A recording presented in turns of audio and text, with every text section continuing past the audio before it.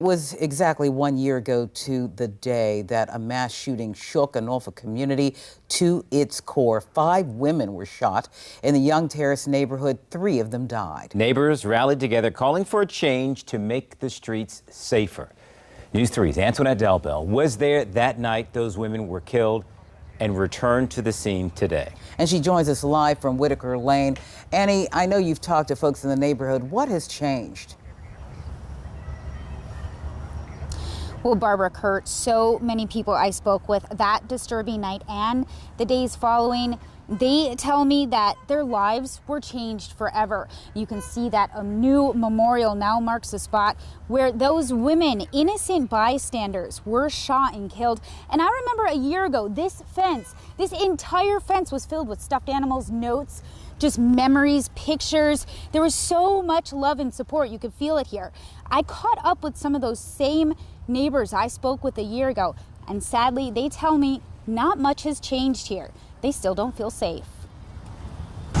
We haven't forgot about them. One year later, the memories still painful. Anybody who's on a low priority event in this precinct needs to head over here now. November 3rd, 2021, a horrific night many who live here will never forget. I've never witnessed anything like that in my life. It was like a movie. It felt so unreal. Three women killed, two other women hurt in the Young Terrace neighborhood. Nicole Lovewine, her partner Deidre Brown, and their neighbor Sarah Costine, all in their 40s, shot dead, leaving the community broken and shattered by the senseless gun violence. A lot of the neighbors are still afraid.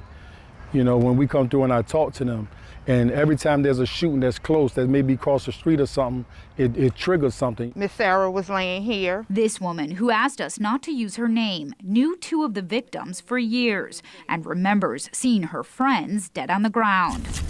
And on this somber anniversary, this friend makes a new memorial wearing pictures of the woman close to her heart. Because I know this is a hard day again this morning because they are reliving this whole thing again. And as the pain lingers, families say they don't feel any safer.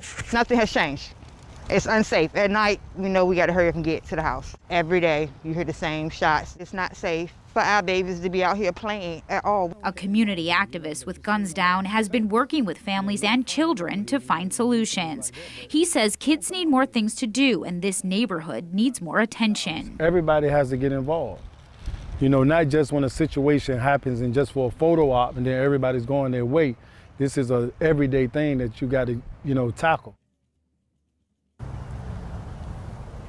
And I spoke with the families of those women who were killed, and they tell me they're still healing, and they hope this tragedy brings awareness to the gun violence epidemic. As for the shooter, his lawyer tells me he's still in jail and he's being mentally evaluated. Live in Norfolk, Antoinette Delbel, News 3.